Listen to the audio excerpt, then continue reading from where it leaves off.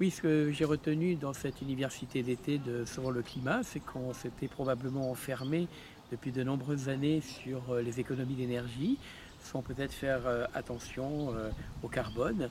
Et ce que j'ai appris, et j'en deviendrai l'ambassadeur, c'est que peut-être euh, économie d'énergie un petit peu moins, mais la perméabilité des bâtiments peut-être un petit peu moins, le BBC forcément pas obligatoire, mais surtout utiliser des, combustibles qui ne seraient pas fossiles pour éviter le carbone. Je crois que nous sommes aujourd'hui à un tournant et, il, est, grand temps de se préoccuper de ce sujet. Et vraiment, j'ai beaucoup apprécié le contact euh, avec euh, toutes ces personnes sur le climat.